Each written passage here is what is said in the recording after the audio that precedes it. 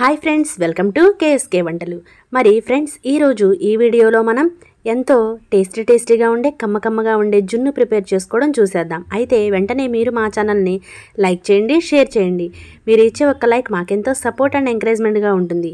Friends జున్ను అంటే ఎవరికి ఇష్టం ఉండదు? మరి జున్ను కోసం చిన్నపిల్లలు అయితే ఎగబడి ఎగబడి మరీ తింటూ ఉంటారు. ఏదైనా షాపింగ్కి వెళ్ళినా ఏదైనా ఎగ్జిబిషన్కి వెళ్ళినా ఈ జున్ను అనేది పెట్టి చాలా చిన్న కప్పులో పెట్టి ఎక్కువ రేటుకి అమ్ముతూ ఉంటారు. మరి ఇలాంటి జున్నుని ఇంట్లో ప్రిపేర్ చేసేసి మీ పిల్లలకు పెట్టేయండి. తప్పకుండా నచ్చి తీరుతుంది. మరి దీనికి కావాల్సిన ప్రాసెస్లు అండ్ ఇంగ్రీడియంట్స్ అన్నీ కూడా చూసేద్దామా?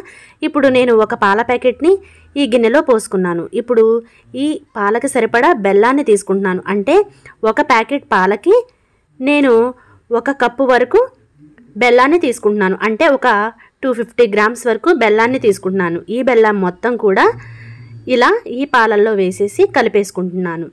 మరి ఈ జున్నుని బయట చాలా ఎక్కువ రేటుకి చాలా తక్కువ క్వాంటిటీలో అమ్ముతూ ఉంటారు. కాబట్టి మనం ఇంట్లో ఇలా ప్రిపేర్ చేసుకోవడం వలన మనకి చాలా ఎక్కువ జున్ను అనేది ఎక్కువ క్వాంటిటీలో వస్తుంది. మరి ఈ జున్నుని ఇలా తయారు చేసుకోవడం వలన అచ్చంగా మనం గేదె పాలతో జున్ను చేసినట్లుగానే ఉంటుంది. మరి ఇంత కమ్మగా ఉండే ఈ జున్నుని మనం ప్రిపేర్ చేసేసుకుందాం. మరి చూసారు కదా ఈ బెల్లం ఇలా కరిగే వరకు కూడా తిప్పేసుకుంటున్నాను. నేను కొత్త బెల్లాన్ని యూస్ చేస్తున్నాను కాబట్టి ఇది కొంచెం గట్టిగా ఉంటుంది. మరి బెల్లం పొడిని యూస్ చేసేవాళ్ళు అది కూడా యూస్ చేసుకోవచ్చు. ఇప్పుడు నేను జున్ను పాల పౌడర్ని తీసుకున్నాను. ఈ ప్యాకెట్ వచ్చేసి మనకి సిక్స్టీ ఫైవ్ రూపీస్ దాకా పడుతుంది. నేను ఈ ప్యాకెట్ని తీసుకుంటున్నాను. అంటే ఒక ప్యాకెట్ పాలకి ఒక ప్యాకెట్ జున్ను పౌడర్ని యాడ్ చేస్తున్నాను. అలాగే ఒక టూ ఫిఫ్టీ గ్రామ్స్ వరకు బెల్లాన్ని యాడ్ చేశాను. చూసారు కదా ఇప్పుడు ఈ జున్ను పౌడర్ని ఇందులో వేసేసి ఎక్కడ ఉండలు కట్టకుండా చక్కగా కలుపుకోవాలి. చూసారు కదా ఈ రకంగా జున్ను పౌడర్ మొత్తం కూడా ఈ పాలల్లో నేను యాడ్ చేసేస్తున్నాను. ఇలా బాగా కలుపుకోవాలి. ఎక్కడ కూడా ఉండలు లేకుండా చక్కగా కలుపుకోవాలి. మరి ఇంత కమ్మ కమ్మని జున్నుని తినడానికి ఎవరికి ఇష్టం ఉండదు? మరి చూశారు కదా ఇలా కలిపేసిన తర్వాత ఇప్పుడు దీనిలో యాలకలు అలాగే మిరియాలు కలిపి పౌడర్ చేసి పెట్టుకున్నాను. చూశారు కదా ఇది మొత్తము కూడా నేను ఒక స్పూన్ వరకు ఉంటుంది ఇందులో వేసేస్తున్నాను. మీరు యాలకలను స్కిప్ చేయండి కానీ ఈ మిరియాలను మాత్రం స్కిప్ చేయొద్దు. ఎందుకంటే జున్నుకి అసలు టేస్టు ఈ మిరియాల పొడి వల్లనే వస్తుంది. కాబట్టి ఈ మిరియాల పొడిని స్కిప్ మాత్రం చేయొద్దు. యాలకులు కావాలంటే వేసుకోండి లేకపోతే దాన్ని ఆపేయచ్చు. సో ఇలా కూడా మొత్తం కలిపేసుకోవాలి. ఈ యాలకలు అండ్ మిరియాల పొడి బాగా ఈ పాలల్లో మిక్స్ చేసేసుకున్న తర్వాత ఇప్పుడు చక్కగా మనం ఇది ఆవిరి పట్టించుకోవడానికి ఒక గిన్నె తీసుకోవాలి.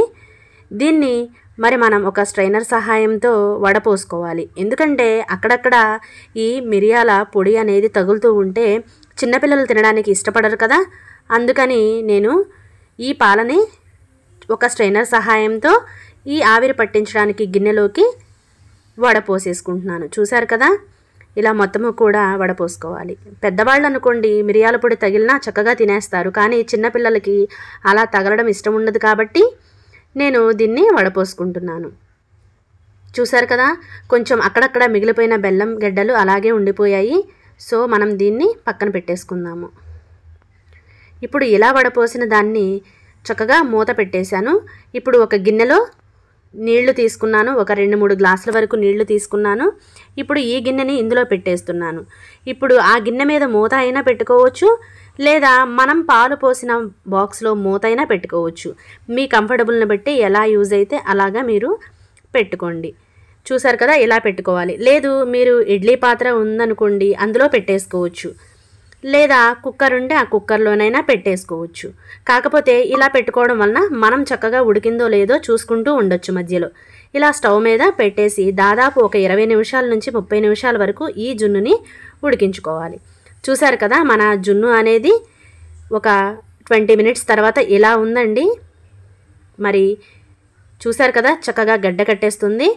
ఇప్పుడు ఇది ప్రిపేర్ అయిపోయిందండి. ఒక థర్టీ మినిట్స్ తర్వాత దీన్ని నేను చాక్ తీసుకొని ఎడ్జ్లు ఇలా లూజ్ చేస్తున్నాను.